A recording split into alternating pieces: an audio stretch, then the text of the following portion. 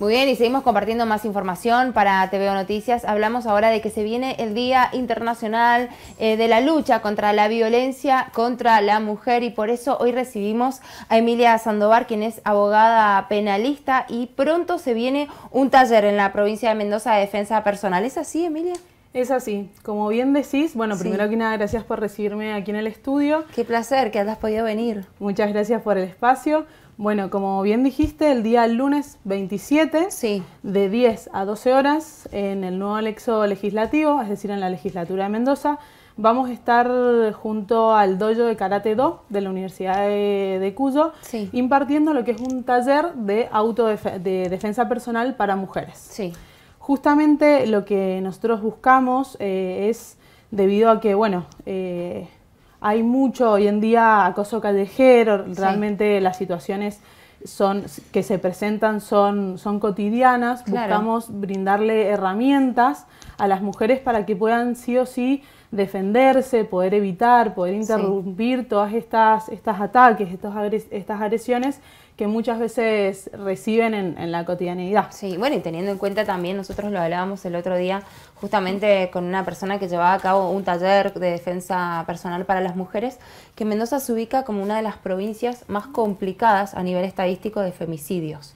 Sí, eso es una realidad y justamente por eso eh, buscamos brindar herramientas que sean efectivas si bien eh, siempre hay que dejar en claro que estas herramientas las brindan profesionales instructoras capacitadas y que también se eh, les enseña e informa a las mujeres que es el último recurso. Son herramientas efectivas, pero también hay que dejar en claro que es el último recurso porque eh, si bien hay otras instancias frente a los femicidios o agresiones que son tan violentas, sí o sí nosotras para defendernos y priorizar y cuidar nuestra integridad, física, tenemos que como acudir a estas palancas básicas, a veces a golpes de puño, pero justamente eh, lo vemos necesario y también está justificado de alguna manera eh, por la gran cantidad de agresiones que, sufrimos las mujeres a diario.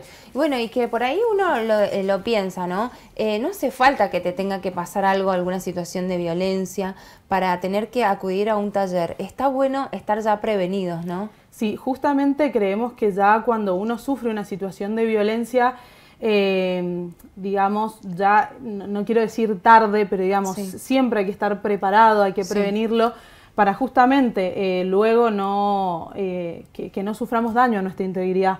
Justamente creo que eh, las mujeres debemos estar preparadas tanto para situaciones sean de robos o, agresiones físicas y son herramientas que también buscan que la mujer confíe en sí misma.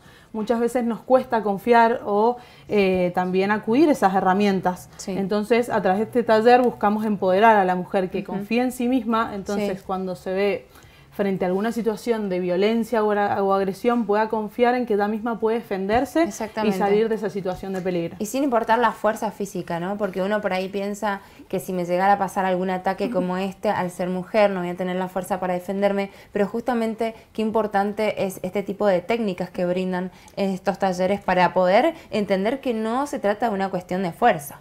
Sí, justamente es eso, por ahí eh, esa quizás desventaja a nivel eh, de fuerza. físico. Claro, físico puede compensarse con estas técnicas que por ahí eh, no son nada complejas. También es también decirle a todas las personas que nos estén escuchando que por ahí uno piensa y dice, bueno, karate o, algunas técnicas que es difícil, necesito fuerza, necesito destreza. Y en realidad justamente están pensados para niñas, adolescentes. Claro, eso te iba a preguntar, las edades. ¿Pueden ir desde todas las edades? Todas las edades. ¿No hay límite de edad? No. No, es la, la, realidad es esa, es que se buscan aplicar técnicas que puedan eh, ser efectivas en cualquier caso y puedan ser aplicadas por cualquier mujer. ¿Y cómo surge esta idea, Emilia? Esta idea surge porque, bueno, eh, desde la legislatura, eh, yo soy asesora legal de Juliana Díaz, siempre, la verdad que nuestro equipo de trabajo busca siempre preservar a la mujer, reivindicar sus derechos, estamos siempre en esa lucha constante. Entonces, en el marco de ideamos distintos tipos de talleres y surgió esto de decir, bueno, nosotros queremos ayudar a la mujer, a la mujer que sufre, la mujer que ve muchas veces violentada o dañada su integridad física. ¿Qué podemos hacer más allá de eh, una campaña, algo práctico, algo que a mí el día de mañana cuando yo camine por la calle me dé seguridad? Y así surgió, dijimos, bueno, veamos y ahí dimos con eh, eh, el dojo de Karate Do de la Universidad de Cuyo, que se especializa desde, desde 2005, están impartiendo estos talleres, están muy capacitados en los que es artes marciales. Y ahí dijimos, bueno, creemos que para mejorar y que para proteger los derechos de todas las mujeres, sí o sí tenemos que brindar estas herramientas, estas herramientas de autodefensa. ¿Crees que la provincia de Mendoza trabaja y cuida a las mujeres o le falta algunas cuestiones? Yo creo que sí, yo creo que sí, que, que la provincia siempre ha priorizado eh, a través de eh, lo que es las leyes, a través de los programas y todas estas políticas, priorizar. Obviamente, eh, creo que siempre hay más por, tenemos que trabajar aún más, esto es todo el tiempo, pero creo que sí es la provincia estamos comprometidos en que mejore la situación de las mujeres y que cada vez más sean los derechos que tenemos. Bueno, Emilia, para repasar entonces, vamos a darle la información a, los ciudadanos que se van sumando a esta hora de la pantalla de TVO y para que se puedan sumar ¿no? a este taller. Sí. La fecha. Bueno, la fecha es el 27 de noviembre, es decir, el lunes próximo, de 10 de la mañana a 12 horas. en el nuevo anexo legislativo, es decir, en la legislatura de Mendoza. Bien. La actividad requiere inscripción previa. ¿A dónde se tienen que dirigir? Ahí eh, nosotros estamos difundiendo, eh, los que quieran comunicarse, yo eh, puedo dejar mi número de teléfono. Por supuesto. O eh, un correo electrónico. Entonces nosotros a través del correo electrónico eh, enviamos el link porque es un formulario Google y ahí vamos inscribiendo a todas las personas. Perfecto. Bueno, Emilia, qué placer haberte recibido. El placer es mío. Muchas gracias, por el tiempo. Gracias por toda la información y bueno, esperamos que, esperemos que Mendoza y sobre todo en estos temas ¿no? que, que abarcan en esta sociedad que nos preocupan, que se pueda mejorar. Sí, totalmente coincido. Muchas gracias. Gracias.